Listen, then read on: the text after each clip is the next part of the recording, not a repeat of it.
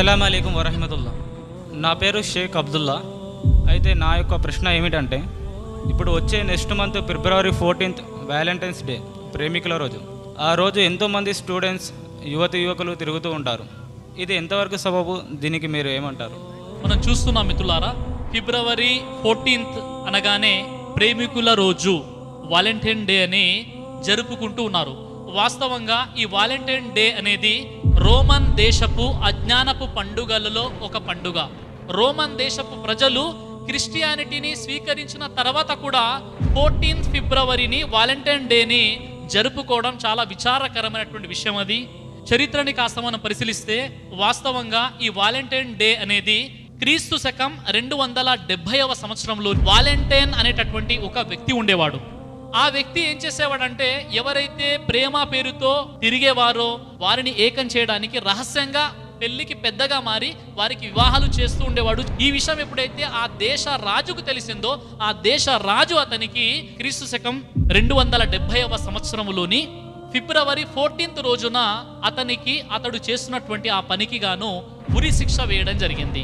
చంపివేయడం జరిగింది. అప్పుడు కొంతమంది క్రైస్తవ పండితులు ఏం చేశారంటే అతడు ఒక అమరవీరుడు అని ప్రచారం చేసి ఆ తర్వాత నుండి ప్రతి సంవత్సరం కూడా ఫిబ్రవరి ఫోర్టీన్త్ రోజు వాలంటైన్ డే జరుపుకుంటున్నారు.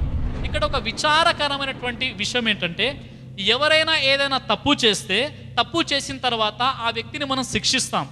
చట్టం శిక్షిస్తుంది. శిక్షించిన తర్వాత భావి తరాల వారికి ఆ తర్వాత వారికి అది గుణపాఠంగా ఉంటుంది. అలాంటి పని మనం చేయకూడదని. కానీ ఇక్కడ ఏం జరిగిందంటే దౌర్భాగ్యం ఏంటంటే ఏ వ్యక్తినైతే చట్టము ఆనాటి ప్రభుత్వము ఆనాటి దేశ రాజు నీవు తప్పు చేస్తున్నావు అని చట్టం అతన్ని శిక్షించి చంపిన తర్వాత ఆ రోజుని సంబరాలుగా జరుపుకోవడం అనేది చాలా దౌర్భాగ్యము చాలా విచారకరమైనటువంటి దురదృష్టకరమైనటువంటి విషయం మిత్రులారా. ఇది ఎలాంటి సెలబ్రేషన్ అంటే సిగ్గు మాలిన నీతి బాహ్యమైనటువంటి సెలబ్రేషన్ మిత్రులారా. అంటే ప్రేమికులు ప్రేమ పేరుతో విచ్చలవిడి లైంగిక కార్యకలాపాలకు పాల్పడడం ప్రేమ పేరుతో అబ్బాయి తిరుగుతూ అమ్మాయికి రోజ్ ఫ్లవర్ ఇవ్వడం గులాబీ పువ్వునివ్వడం ప్రేమ పేరుతో క్లబ్స్కి వెళ్ళిపోవడం అదేవిధంగా ఆ ప్రేమికుణ్ణి సంతోష పెట్టడానికి ఆమె ఏం చేస్తుందో తెలుసా? ఆ అమ్మాయి అర్ధనగ్న దుస్తులు ధరించి సంతోష పెట్టేటటువంటి ప్రయత్నం చేస్తుంది.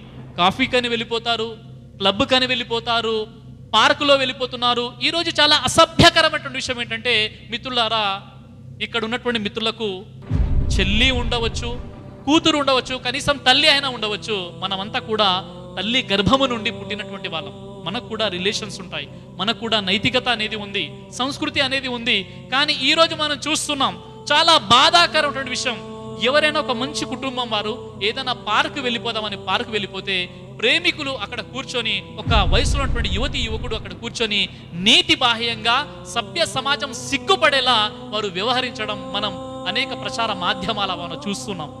ఎంత సిగ్గుమాలినటువంటి నీతి బాహ్యమైనటువంటి పని ఒకసారి మీరు చూడండి మిత్రులారా. ఈరోజు వాలంటైన్ డే అని యుక్త వయసు ఉన్నటువంటి యువతి యువకులు వారు విశృంగల తత్వానికి పాల్పడుతూ వివాహానికంటే ముందే లైంగిక సంబంధాలను కలిగి ఆ విధంగా సభ్య సమాజానికి వారు ఒక మచ్చగా మారిపోవడం మనం మన కల్లారా చూస్తున్నాం మిత్రులారా. వాలంటైన్ డే సందర్భంగా ఎటు చూసినా మనం చూస్తూ ఉంటాం జంటలు జంటలుగా కనిపిస్తుంటారు పార్కులో ఉన్నారు తర్వాత రహస్య ప్రదేశాల్లో ఉన్నారు అదే విధంగా ఇతర పబ్లిక్ ప్లేసెస్లో ఉన్నారు రోడ్లపై తిరుగుతున్నారు ఈ విధంగా తిరుగుతూ వాలంటైన్ డే ప్రేమికుల రోజాన జరుపుకుంటున్నారు. దాని వెనుక ఉన్నటువంటి రహస్యం ఏంటో ఒక్కసారి చూడండి. ఒక్కసారి ఆలోచించండి మిత్రులారా. రసూలుల్లా సలల్లాహు అలీ వసలం వారు తెలియజేశారు ఏమన్నారు అంటే మీరు రెండు విషయాలు మీరు వాగ్దానం ఇవ్వండి. ఆ రెండు ఏంటంటే రెండు దవడల మధ్య ఉన్నటువంటి నాలిక రెండు తొడల మధ్య ఉన్నటువంటి మర్మాంగం ఎవరైతే గ్యారంటీ ఇస్తారో వాగ్దానం చేస్తారో వారికి స్వర్గం యొక్క గ్యారంటీ నేను ఇస్తాను చెప్పారు. మరి అలాంటప్పుడు మీరు ప్రేమ పేరుతో వివాహానికంటే ముందు ఈ విచ్చలవిడి శృంగారాలకు పాల్పడి లైంగిక కోరికలు తీర్చుకున్నట్లయితే ఎంత నీతి బాహ్యమైనటువంటి పనులు చూడండి.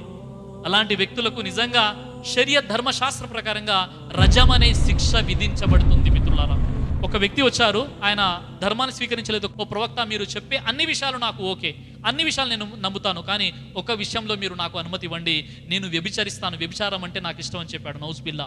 అప్పుడు ప్రవక్త వారు సున్నితంగా ఆయనకి ఇచ్చినట్టు సమాధానం ఏంటంటే నీ యొక్క చెల్లి ఎవరితోనైనా వ్యభిచరించడం నీకు ఇష్టమా అని అడిగారు. ఓ ప్రవక్త ఆ మాట అనకండి నేను తట్టుకోలేను. నీ భార్య ఎవరితోనైనా వ్యభిచరించడం నీకు ఇష్టం అంటే నేను అది సహించలేను. నీ తల్లి ఎవరితోనైనా వ్యభిచరించడం నీకు ఇష్టమా? అంటే ఓ ప్రవక్త అలాంటి మాటలు నా ముందు ప్రస్తావించకండి అని చెప్పారు. మరి అలాంటప్పుడు ఎవరితోనైతే నువ్వు ఇలాంటి పనులు చేస్తున్నావో ఆ స్త్రీ కూడా ఒకరికి చెల్లి ఒకరికి తల్లి ఒకరికి భార్య మరి నీవు సహించలేనటువంటిది నీ పొరుగు వారి కోసం ఎందుకు అలా భావిస్తున్నావని రసూలుల్లా సస్సలం వారు అన్నారు.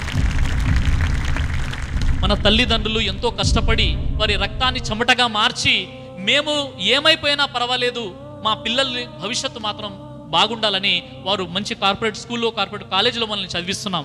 ప్రేమ అనే ఆకర్షణ ఒకటి కలిగి ఎవరినో ప్రేమించాను అని తల్లిదండ్రులను ఎదిరించి వారు విననట్లయితే ఇల్లు వదిలేసి పారిపోతున్నారు. వారి తల్లిదండ్రులకు మాత్రం దుఃఖాన్ని మిగిలుస్తున్నారు. ఆ దుఃఖాన్ని తట్టుకోలేక ఆ అవమానాన్ని భరించలేక ఎంతోమంది తల్లిదండ్రులు ఆత్మహత్యలు చేసుకున్నటువంటి సంఘటనలు మనం చూస్తున్నాం.